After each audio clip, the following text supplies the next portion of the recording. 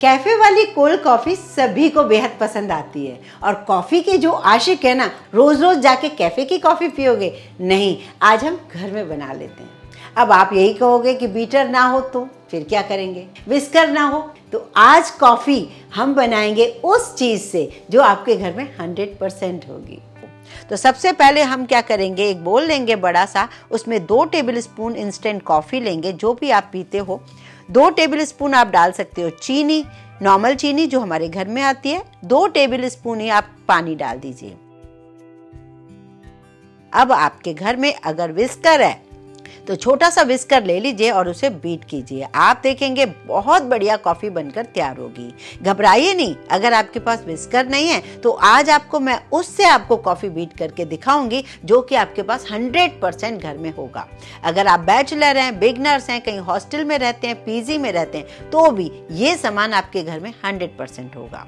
जिसमें लाइट का कोई खर्चा नहीं है, आप आराम से उसे बीट करके इससे भी जल्दी उस कॉफ़ी को बना सकते हैं।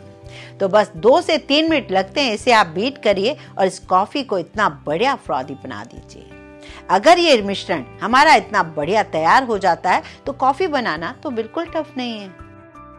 चाहे आप हॉट कॉफ़ी बनाएँ या कोल्ड कॉफ़ी बनाएँ, आज के वीडियो को आप पूरा देखिए, बहुत सारी चीज़ें आप समझ पाएँगे कि कैसे टाइप्स ऑफ़ हम कॉफ़ी बना सकते हैं। ये देखिए घड़ी के हिसाब से सिर्फ़ तीन मिनट हुए हैं और कॉफ़ी कितनी बढ़िया, फ्रॉदी सी बन गई है। इसमें कितने अच्छे पीक्स आने लगे जैसे कि आइसिंग करते हैं।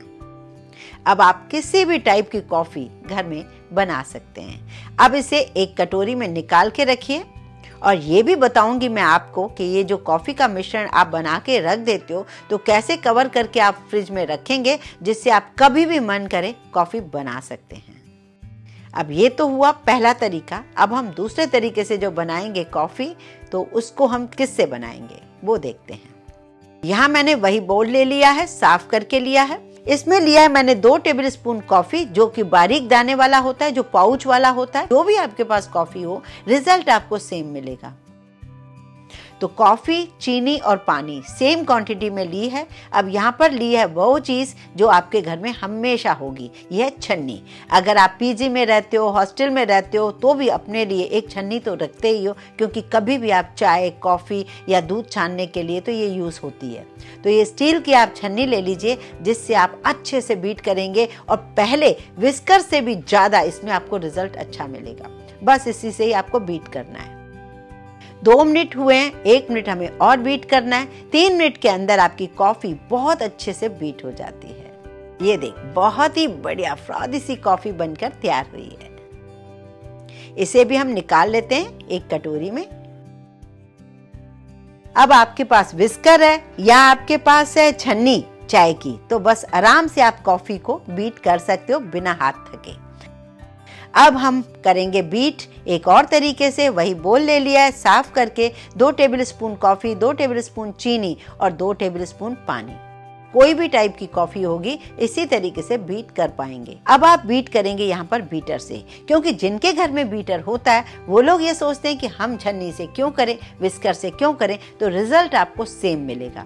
यहाँ देखिए, इसमें सिर्फ़ दो मिनट लगेंगे और उनको बीट करने में तीन मिनट लगेंगे।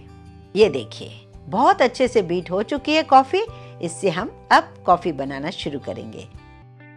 सबसे पहले आपको कॉफ़ी बनाने के लिए एक ट्रिक फॉलो करनी होगी कि बर्फ़ तो हम यूज़ करते हैं, आइस तो हम यूज़ करते हैं, फिर भी जो दूध आप लेंगे वो चिल्ड होना चाहिए। जितना अच्छा चिल्ड आपका दूध होगा, उतनी ज़्यादा अच्छी आपकी कॉफ़ी बनेगी। यहाँ मैंने एक ग्लास ले लिया है, लंबा सा, जिसमें मैंने कुछ आइस के क्यूब्स डाले हैं। एक चम्मच भर के मैंने पिसी चीनी डाली है, क्योंकि ये दूध ना अच्छा मीठा लगेगा तो कॉफ़ी आपको बहुत अच्छी लगेगी। अब इसमें आप कॉफ़ी ऊपर से डाल दीजिए और हल्का सा साइड से आप थोड़ा सा मिक्स करने की कोशिश कीजिए। बस, अब आप चाहें तो ऊपर से थोड़े से चौको चिप्स डालकर और सर्व कर सकते हैं। इसे आप स्ट्रॉ से पीजिए, बहुत मज़ा आएगा। धीरे धीरे मिक्स करते हुए इंजॉय कीजिए जैसे आप कैफ़े में करते हो। अब बनाते हैं एक और कॉफ़ी जिसमें हम दूध यूज़ नहीं करेंगे। कई लोग ऐसे हैं जो बिना दूध की कॉफ़ी पीना पसंद करते हैं। तो यहाँ मैंने ग्लास लिया आइस डाला है और ठंडा पानी डाला है। अब इसमें मैं चीनी भी नहीं डाल रही हूँ, बस कॉफ़ी डाल रही हूँ, जो कि मैंने बीट करके रखी है। इसे भी आप हल्के हाथ से थोड़ा स्टर कीजिए, जिससे नीचे का कलर काफ़ी चेंज हो जाएगा और दिखने में भी सुंदर लगेगी, ये कॉफ़ी पीने में भी बहुत मज़ा आएगा। जो कैफ़े में आपको बहुत महँगी कॉफ़ी मिलती है, वो घर में अब आप आसानी से बिना दूध के भी कॉफ़ी बना सकते हैं। ये लीजिए, कॉफ़ी आपकी तैयार है। अब एक और कॉफ़ी बनाने चलते हैं, जो कि बहुत ज़्यादा मज़ेदार बनने वाली है। चलिए। तो उसके लिए मैंने एक लंबा सा ग्लास लिया है। उसके चारों तरफ़ मैं थोड़ी सी चॉकलेट सॉस लगा रही हूँ। चॉकलेट सॉस अगर आपके पास है तो बहुत ही बढ़िया। अगर चॉकलेट सॉस नहीं है तो डेयरी मिल्क को थोड़ा मेल्ट कर लीजिए, थोड़ा सा दूध डालकर। उससे भी आपका काम हो जाएगा। चॉकलेट सॉस को साइड से लगाने के बाद आपको लेना है आइस और पीसी चीनी। अब उसके ऊपर डाल दीजिए ठंडा दूध। अब आप डाल देंगे वही कॉफ़ी जो बीट करके रखी है आपने और आप इसे चॉकलेट सॉस के साथ डेकोरेट कीजिए और इन्जॉय कीजिए। अब बारी आती है कि जो बची हुई कॉफ़ी है उसका क्या किया जाए? तो उसको आप कवर करके क्लिंग रैप से अगर आप फ्रिज में फ्रीजर में नहीं फ्रिज में रख देंगे तो आठ दिन तक आपकी कॉफ़ी का मिश्रण बिल्कुल खराब नहीं होगा। जब भी मूड करे कॉफ़ी पीने का, उसे लीजिए और इसी तरीके से हॉट या कोल्ड कॉफ़ी बना सकते हैं। अब बनाएँगे इसी मिश्रण से हम हॉट कॉफ़ी अब हम उस छन्नी से बीट करेंगे कॉफ़ी जी हाँ छन्नी, जो कि हमारे घर में हमेशा अवेलेबल होती है। इस छन्नी से हम इतनी बढ़िया कॉफ़ी बीट कर सकते हैं, जिसका आपको अंदाज़ा ही नहीं होगा। सबसे पहले आप दूध रख दीजिए गैस पर उसे बॉईल करने के लिए। कोई दूसरी चीज़ आपको यूज़ नहीं करनी है, बस दूध को अच्छे से बॉईल आने दीजिए। और इधर मैंने एक कप ले लिया है। कप में मैंने कॉफ़ी डाल दी है। कॉफ़ी डालने के बाद जब दूध अच्छे से बॉईल हो रहा है तब आप क्या करेंगे? ऊपर से डालेंगे झाग आ रही है ऊपर तक। अब आप ऊपर से दूध डालिए, जिससे इसमें बहुत अच्छे से झाग हो, बहुत ही फ्रॉदी कॉफ़ी बनकर तैयार हो जाए। ये देखिए, मैं आपको यहाँ पर एक फोक से चलाकर दिखा रही हूँ, जिससे बहुत ही बढ़िया ये कॉफ़ी लगेगी। अब जरा सा कोको पाउडर या कॉफ़ी ऊपर से आप डस्ट कर लीजिए छन्नी से।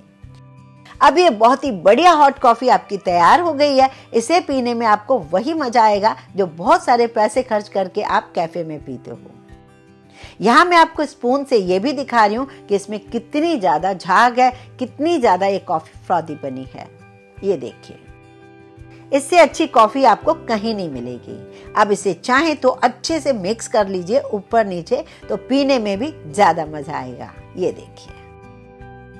एक बार मैं और इसको थोड़ा सा चॉकलेट पाउडर इसके ऊपर डस्ट कर लेती हूँ। लग रही है ना, बहुत ही अमेजिंग सी कॉफ़ी आपको इन चारों कॉफ़ी में कौन सी ज़्यादा अच्छी लगी, मुझे कमेंट करना बिल्कुल न भूलें। कोल्ड कॉफ़ी बनकर तो तैयार हो गई है और इस तरीके से छोटे छोटे गिलासों में डालकर, ऊपर से चॉकलेट सॉस डालकर छोटे बच्चों को भी सर्व कर सकते हैं। पसंद आए तो लाइक कीजिए, ज़्यादा से ज़्यादा शेयर